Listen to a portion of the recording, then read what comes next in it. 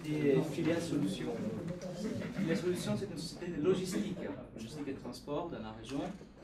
Nous sommes présents sur différents secteurs, un peu différents les uns des autres, euh, dont donc euh, l'agroalimentaire, dans l'aéronautique, la logistique classique euh, ou événementielle, y compris la bureautique et le e-commerce. E-commerce, c'est les boutiques e-commerce qui ne génèrent pas forcément eux-mêmes la partie physique, on la prend en charge. Dans la partie agroalimentaire, je, me permets donc d'insister un peu plus parce que je crois qu'il y a des acteurs qui sont concernés. Euh, on a mis en place des outils très spécifiques pour avoir une traçabilité complète des lots de production. C'est-à-dire que dans les secteurs agroalimentaires, donc à pouvoir tracer les lots de production, la date, donc la date de péremption aussi, les lots de production avec un lot spécifique, pour pouvoir gérer naturellement tous les cas spécifiques des crises alimentaires.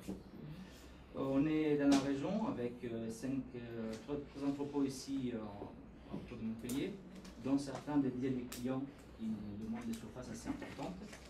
Au total, en France, on a ces entrepôts. Voilà, on a la capacité de, capacité de mettre en place donc, des prestations sur mesure.